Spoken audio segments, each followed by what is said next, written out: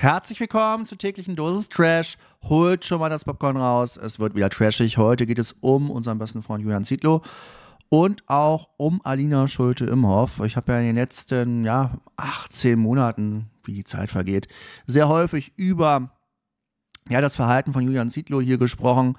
Und jetzt lässt er sich, nicht sie, ja, und nicht sie schon vor einem Jahr oder eineinhalb Jahren, Nein, er lässt sich jetzt scheiden. Manche Quellen sprechen auch davon, dass sie sich scheiden lassen. Ähm, ja, sei es drum. Ich werde mit euch jetzt äh, hier eine Quelle durchgehen ähm, von der Bild, ein großer Artikel, den ich euch unten auch verlinke, wo ich so ein bisschen mit euch drüber plaudere und meine Gedanken darüber ähm, ja, mit euch teilen möchte. Ich finde das schon ein starkes Stück, sagen wir mal so. Aber ja, die Bild titelt, Julian Zietlow lässt sich scheiden, alles aus mit seiner Alina. Und hier noch ein Bild aus glücklichen Tagen. Ja, und dann geht es hier weiter, ähm, dass Zietlow in seiner Story dann wie folgt schrieb. Zietlow sagt, für mich steht jetzt die Scheidung an. Dazu schreibt er, Scheiden tut weh. Das sei ihm während seiner Indienreise klar geworden. In dem asiatischen Land habe er tief in sich hineinhören können und sei zu den interessanten Schlüssen gekommen. Bereits im August hatte sich das Paar getrennt. Nachdem die auch, glaube ich, erst im Juni, Juli zusammengekommen sind. Wieder. Nachdem er vor Tränen, ja, vor ihr auf die Knie ging und sagte, ich will dich wieder zurück. Und ja, also das ist doch irgendwie, weiß ich nicht. Klingt das jetzt nach einer Entscheidung, ähm, die bewusst, also sind das bewusste Entscheidungen für ihn ähm, oder ist das Spielerei?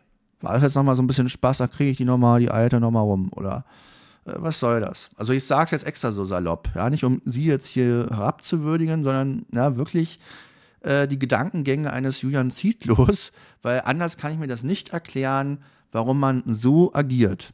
Ja? Also, wenn man als Mann eine Entscheidung trifft oder auch als Frau, dann macht das man bitte richtig und nicht diese halbgare Scheiße. Ja? Also, das ist doch irgendwie unmöglich. Und dann geht es hier noch weiter. Dann ginge es jetzt besonders nahe, dass Alina mit den gemeinsamen Kids aus Deutschland weggezogen sei. Zitlo sagt, dann ziehen meine Kinder jetzt nach Dubai, die ich eh schon nach einer Woche so krass vermisst habe. Und Dubai ist nicht mein Lieblingsplatz. Ja, es geht nicht alles nur um dich. Ich muss aber auch sagen, Dubai, also sorry, das ist auch einfach nur eine Scheinwelt dort. Und wer jetzt Hitze mag und jeden Tag äh, Hitze und äh, Sand und aufgeschüttete Strände und vielleicht auch eine ganz beeindruckende Architektur und schickimicki und ach, hier esse ich mal und ja, hast du schon den neuen Smoothie ausprobiert und nee, kennst du schon den Schönheitsdog? Dann ist ein irgendwann, glaube ich, Dubai einfach nur noch zu, also ich hätte da keinen Bock drauf. Also zum Urlaub mal für eine Woche sich das mal angucken, kein Ding, ja, komme ich mit euch mit. Aber ansonsten weiß ich nicht, da leben also verstehe ich auch nicht so ganz. Vielleicht wollte Alina aber auch ihren Kindern die Schule nach den ganzen Eskapaden von Julian Zietlow in Deutschland nicht mehr zumuten, weil in Dubai kennt die kein Schwein. Ja, und in Berlin kann das, glaube ich, schon unangenehm werden für die älteste Tochter, was er da von, was die, ja, die ganzen Bilder, es gibt Nackedei-Bilder von Julian Zietlow, die nicht sonderlich vorteilhaft waren, sagen wir mal so. Da war das Gerät nicht voll ausgefahren und er scheint auch eher der Team Blutpenis zu sein, ja. Und ähm, das hat er dann da alles geteilt. Das sind ja alles Dinge, ja, die ich durch euch, ja, ich musste noch nicht mal selbst recherchieren, ich kriege das ja von euch zugeschickt. Ja, guck mal hier, der Dödel von, von, von, vom Zitlo. Ja, ähm, hätte ich gar nicht darauf verzichtet. Aber nun gut. Der Influencer gibt mit Tränen in den Augen zu große Angst vor dem Alleinsein und der Einsamkeit zu haben. Also nicht, dass er Angst hat, den Kontakt zu seinen Kindern äh, nicht ausreichend zu haben oder vielleicht auch Angst davor zu haben, was falsch gemacht zu haben, sondern es geht jetzt nur um sein Gefühl des Alleinseins. Es geht jetzt nicht um die Kinder. Ja, also schon sehr beeindruckend. Zitlo erklärt, beim letzten Mal vor eineinhalb Jahren, zwei Jahren, war das ja so, dass ich direkt eine Freundin hatte und das war einfacher. Gemeinsam bei Kate. Ja, da gab es ja schon wieder diese ähm, Gerüchte, dass sie, weil sie hat ja so ein Bild gepostet und dann sah das Bein so aus wie Julian Zietlow, hatte ja schon drüber berichtet. Und ja, ich würde jetzt auch sagen, ist jetzt weit hergeholt, das kann jetzt einfach ein Männerbein gewesen sein. Ja, ich könnte jetzt einfach sagen, ich war's, ja, aber dann wisst ihr ja, dass ich jetzt nicht in Dubai war. Nee, in Dubai ist ja in Thailand nicht. Na, also ich bin ja die ganze Zeit hier, leider Gottes, und nicht in Thailand, aber nun gut. Ähm, dann geht's hier weiter. Julian und Alina haben zwei gemeinsame Töchter. Und ähm, ja, dann ist ja hier noch ein bisschen darüber so ein bisschen Thema, was in den letzten Jahren dort passiert ist. Ähm, und am 25. Juli, also das ist ja noch nicht, das sind jetzt keine Jahre, ne? das sind jetzt erst zwei Monate, wurde erst ein Video geteilt, äh, ist noch nicht mal ein Vierteljahr her, wo Alina mit einem glitzernden Ring zeigt und sie schrieb dazu, she said yes, alles schien perfekt, doch dann ging Trennung im August. Jetzt steht die Scheidung an. Also, und das, also, so wie ich das jetzt verstanden habe, ihr könnt mich gerne korrigieren, wenn äh, ich da was falsch verstanden oder falsch interpretiert habe. Fakt ist, ähm, es wird nicht nur so getitelt bei der Bild, nein, ich gehe jetzt davon aus, dass Julian Zietlow und nicht Alina Schulte Imhoff, also nicht die, die die ganze Zeit beschissen wurde, scheiße behandelt und die komplette Familie von ihr auch noch, also nicht nur sie als Person, sondern auch die komplette Familie gedemütigt wurde, ja, mit äh, Instagram-Postings von Julian Zietlow, die nicht provokanter hätten sein könnten, ja, von Mini-Heimatfilmchen, äh, äh, die da gefilmt wurden. Also ihr wisst ja, was der da alles geteilt hat, ja, bis hin zum Regen tanzen äh, mit der neuen Flamme, wo, wo sie auch noch nicht so lange getrennt waren, was man auch nicht macht, ja, dass man da irgendwie irgendwelche Instagram-Stories mit der neuen Flamme postet, weil man weiß, okay, meine Ex ist hier unter Tränen vielleicht noch mit der Trennung beschäftigt und meine Kinder sehen das auch irgendwann. Aber so ist das dann halt, wenn man seinem Highest Excitement die ganze Zeit nur folgt und nur noch an sich denkt.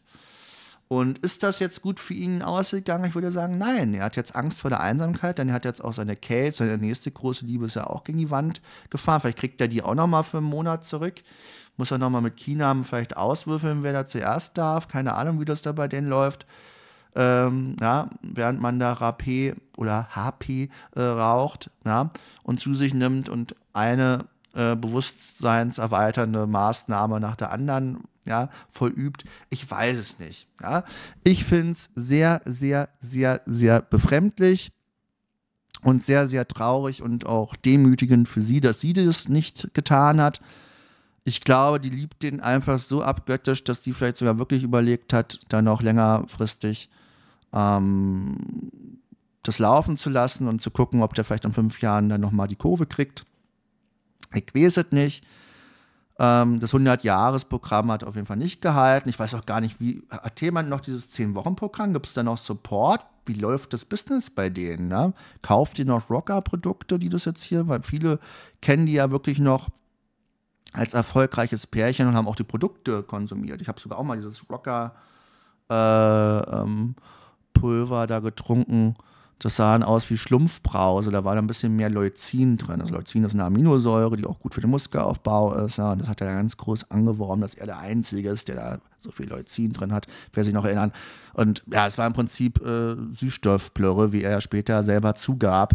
Und man hat es auch beim Geschmack gemerkt, dass das schon sehr äh, hart an der Grenze ist. Und ich muss auch sagen, ich habe mir diese ganzen Proteinshakes, ich wirklich eine, eine Zeit lang ganz gut im Training war, so übertrunken, ich kann das irgendwie, krieg das, irgendwie habe ich da eine Abneigung gegen entwickelt, diese Scheiße dann auch zu trinken. Vor allem, wenn man auch diese ganzen Influencer immer mehr hinter, ja, auch hinterfragen muss, ja, wenn man sich die ganzen Leute da anguckt.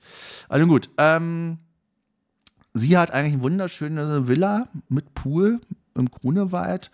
Muss man da jetzt den Kindern Dubai antun? Oder schützt man sie dadurch vielleicht auch? Ich weiß es nicht. Fakt ist, ich finde Dubai und das Dahinziehen eigentlich auch schon charakterlich so unterirdisch, dass ich von ihr jetzt auch kein großer Fan bin. Ja, und auch noch nie war. Aber na gut, das ist jetzt nur meine bescheidene Meinung. Ich bin heute wieder fies, oder? Boah, ich kann ja mal fies unten reinschreiben, wenn ihr das auch, ähm, oder bissig, ja.